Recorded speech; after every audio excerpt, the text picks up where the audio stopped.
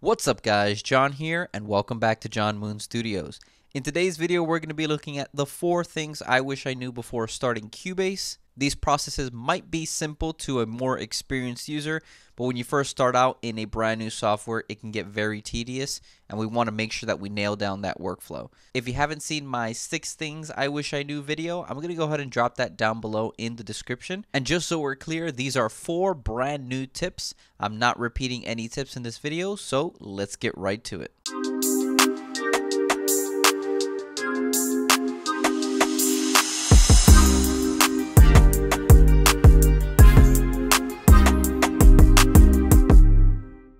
So we're going to go straight into tip number one.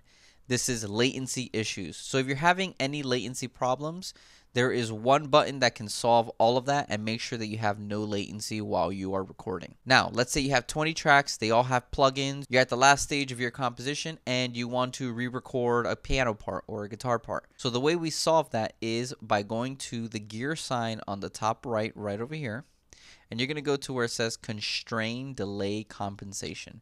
When you press that button, what it's going to do is let's say I have this Kontakt instance and I'm just going to go to the mixer really quick and I'm going to add a bunch of plugins to this. So let's say I want to add a reverb. Let's say I want to go ahead and add perhaps some distortion. I'm going to use Saturn 2 from FabFilter. And then let's say I just want to add some modulation. So let's just go ahead and choose one of these. Let's choose the UAD Brigade Chorus.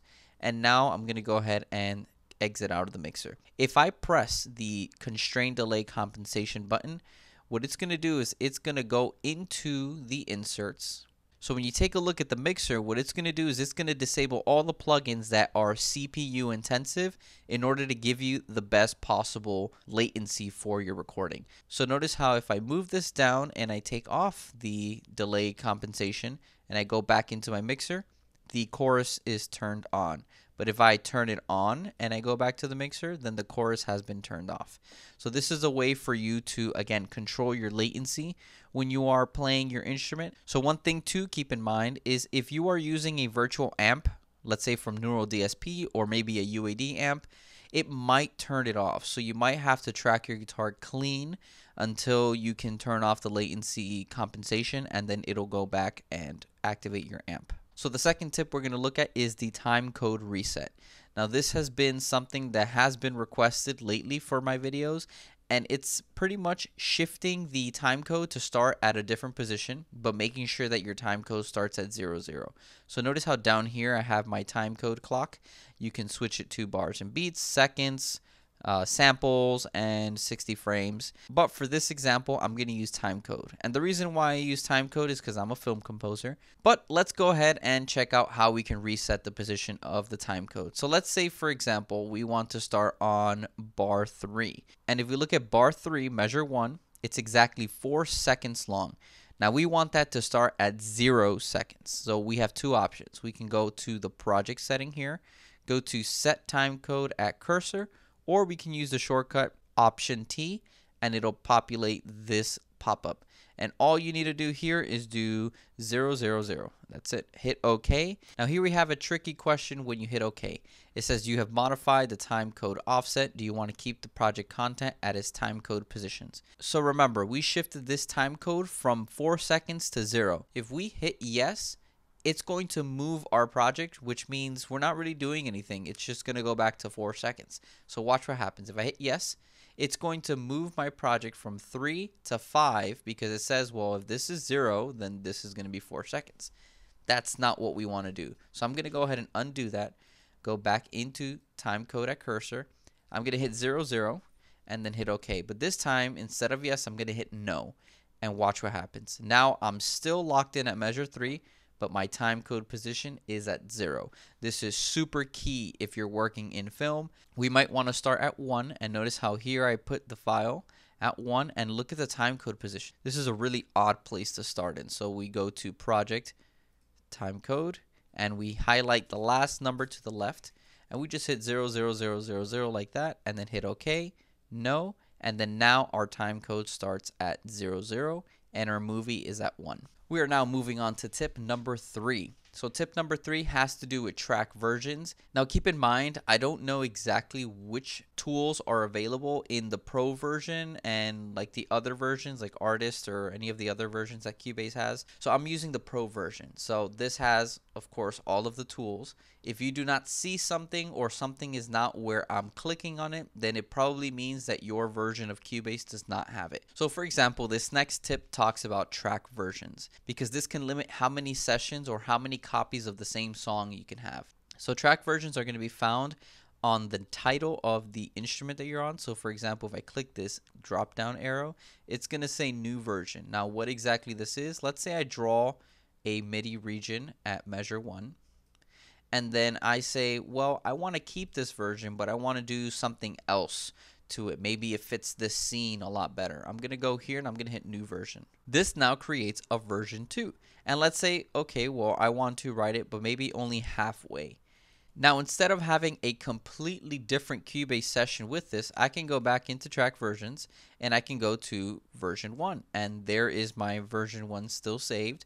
I can go into version 2. And then, of course, if I open this, I can rename these versions if I wanted to. I could delete a version, I can create a new one, or I can duplicate the same version. This is, again, very, very helpful. Let's say you're a vocalist and you want to try different ad libs. Well, you can control it using versions because now you can, instead of creating like four tracks and doing three different versions and then muting each one of them and saying, okay, I like this one better, you can do it all in the same track. And when you do versions, all of your plugins still stay the same as well. So even though I'm in version 2, if I go back to my mixer, you can see that I have the plugin still activated here. So it's a great, great way for you to control different versions of your project without having to go outside of Cubase and creating a whole different session. And then the last thing we're going to talk about is something that may not be too common to people, and this is what we call the direct offline processing. So direct offline processing is, let's say for example, this video here that I have, which is my intro video, instead of me going to studio mix console and then finding the video and putting let's say a reverb in here, direct offline processing allows me to attach the reverb directly onto the clip, but it uses less CPU because you are processing it offline. So let's go ahead and take a look at it so we understand how this works. So we're going to go into audio, go to direct offline processing, and here you get this menu to pop up. It says here, please select an event, so it has to be an audio clip. We're going to go ahead and click the audio, and now here these two options are now available. We're going to go ahead and put plugin, and we're going to go into our reverb and put the Pro R from FabFilter. And now let's take a listen to the track without the reverb first. Right, so we heard a, a few bars of that. So now what happens? If we hit auto apply, it's going to automatically apply what I'm putting inside of here. So if I put a reverb and a distortion, it's going to automatically affect it. But let's say if I don't want it to auto apply. So let's just go undo that really quick. And we're going to go back into the Pro R and we're going to not hit auto apply. Now what we're going to do is we're going to press play. And you can see you can audition the sound before you apply it onto the sound. Now, if we want to apply it so that it's fixed, then we hit apply, but for now we're not doing that. So the idea behind using direct offline processing is let's say you're a sound designer or let's say you're doing some vocal ad-libs and you want to make sure that the ad-libs have enough reverb. You can go ahead and process that in here. And if let's say I'm just going to hit auto apply so we can hear what's going on in real time.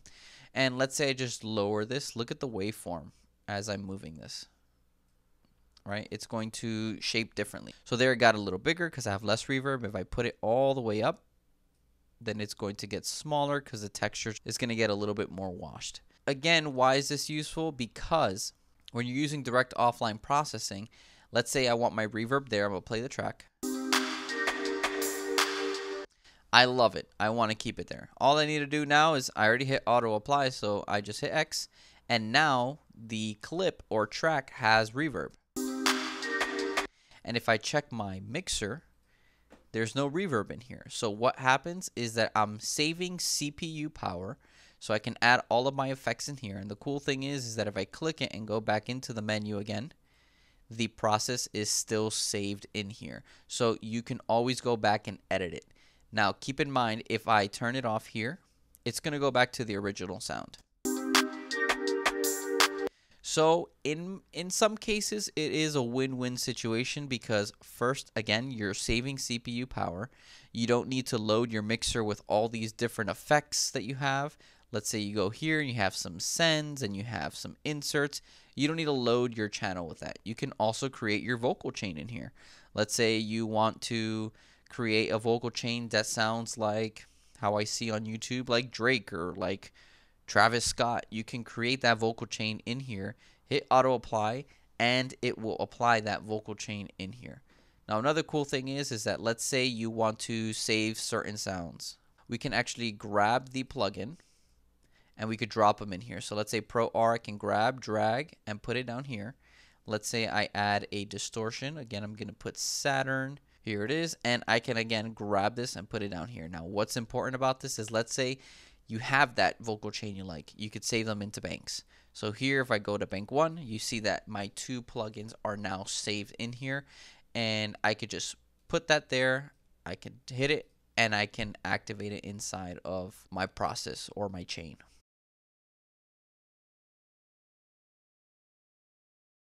So that's how you use direct offline processing. If you do have any questions on any of these tips, you can just go ahead and drop your comments down below and I'll get to them as soon as possible. If you reach the end of this video, I'm going to take some time right now to talk about my members only club. You can go ahead and join by hitting the join button on my channel and in the members only club, you're to see different kinds of content like how to set up my master template. I actually go in and show you how I personally set up my master template.